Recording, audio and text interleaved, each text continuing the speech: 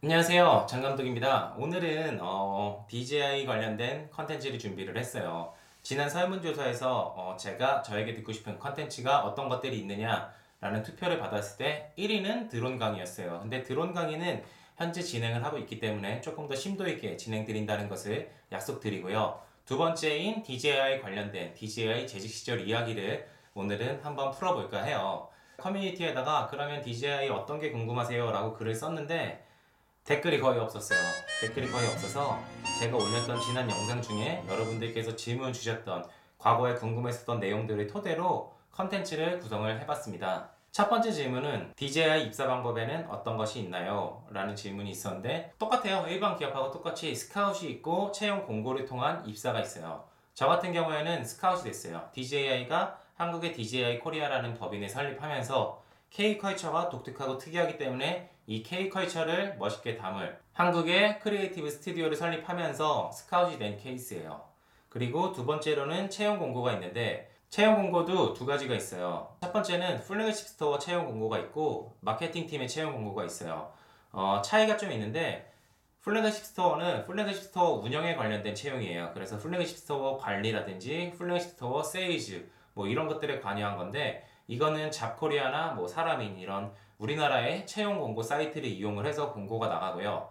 마케팅 팀 같은 경우에는 LinkedIn이나 어, DJI 홈페이지를 통해서만 채용 공고가 나가요. flagship store 채용 공고는 flagship store 관리, 교육, 그리고 flagship store 운영에 관련된 업무를 진행을 하고요. 마케팅 같은 경우에는 뭐 PR, 그리고 creative studio, 뭐 컨텐츠 파트너 이런 것들에 대한 채용 공고가 진행이 돼요.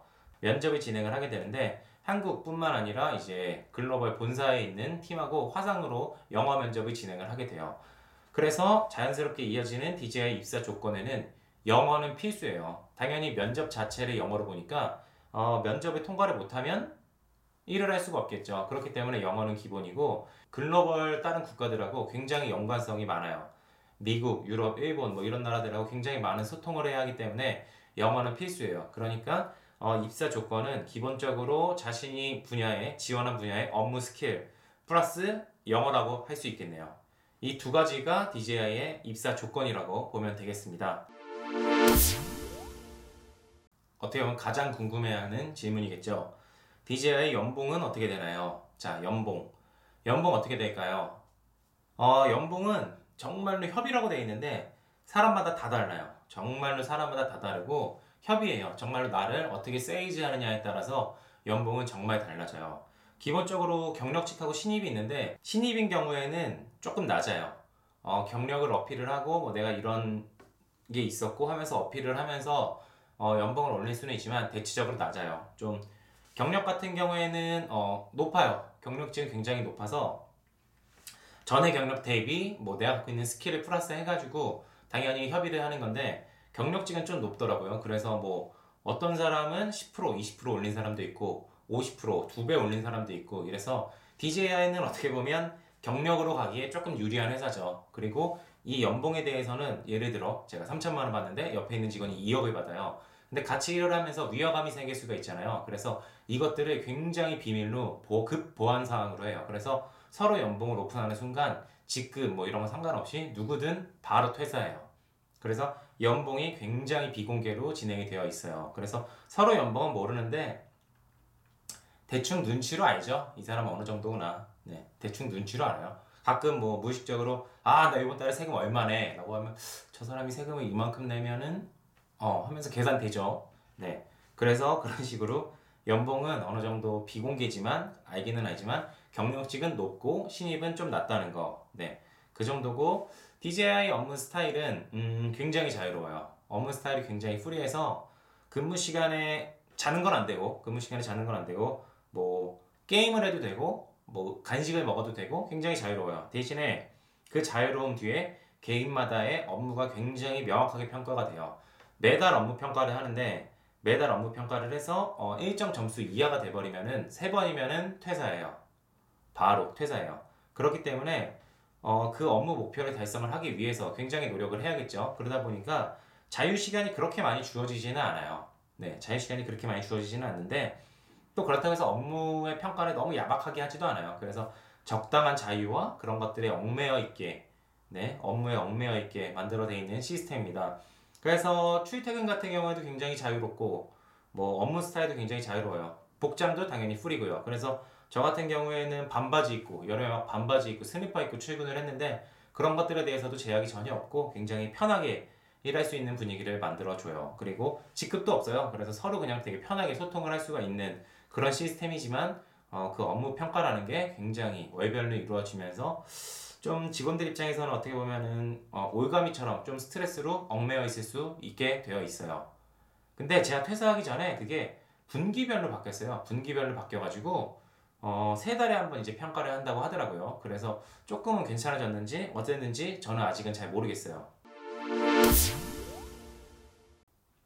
다음 질문이 신제품 출시 시기가 어떻게 되나요? 이건데 어, 많은 분들이 어, 내가 이 제품을 지금 2를 샀는데 다음 달에 3가 나올까봐 걱정이 돼서 못 사겠어. 이거 출시 시기 아는 분 이러면 엄청 댓글이 많이 달리죠. 근데 제가 정확하게 안내를 해드리면 신제품 출시 시기는 정해져 있지 않아요. 어, 제품은 정말로 그 전에 훨씬 전에 준비는 되어 있어요. 제품은 준비는 되어 있는데 이 제품이 이제 1년이 됐으니까 지금 출시하자가 아니라 시장 상황을 보고 변동에 따라서 출시의 날짜를 잡아요. 신제품을 개발하자마자 출시하는 게 아니고 어느 날짜를 잡아가지고 그때까지 제품 개발을 하는 게 아니에요. 그 전에 개발은 끝나고 직원들 통해서 테스트를 진행을 하는데 음, 우리나라 일부 어떤 유튜버 같은 경우에 뭐 신제품 테스트를 한 사람을 알고 있다 뭐 그러는데 절대 몰라요. 신제품 테스트는 어, 정말로 top secret한 직원들만 진행을 하고 있고 그 직원들끼리도 내부 공유를 절대 안 하고요. 그 직원이 뭐 일부 유튜버에게 했다 무조건 퇴사해요. 그리고 한국에는 심지어 있지도 않고요. 정말로 top 어, high 직원들만 그거를 테스트하고 보안을 유지하기 때문에 절대 알 수 없어요. 네. 절대 알 수 없고 음, 무조건 하지도 않고요. 제가 하게 되는 경우도 있고 안 하게 되는 경우도 있어요. 그리고 어, 그 테스트 같은 경우에는 한국에서는 지금 절대 진행하고 있지 않습니다. 그리고 제가 알고 있는 음, 제가 알고 있는 마지막 신제품의 정보는 이미 유출이 됐어요. 여러분들이 다 알고 있어요. 제가 그 제품까지만 신제품 정보를 다 알고 있었고 그 이후의 제품들은 저도 모르거든요. 그래서 그 제품까지는 제가 이제 어떻다라고 공개를 하게 되면은 이거는 추측이 아니라 유출이 돼버리기 때문에 공개를 할 수가 없고 그 제품이 출시된 다음부터는 저도 신제품이 어떻게 나올 것 같아 어떤 건데 동향이 이렇게 이렇게 있어서 어떤 제품이 나올 거야라고 유출이 유, 추측이 가능하니까 여러분들 그것도 기대해 주세요.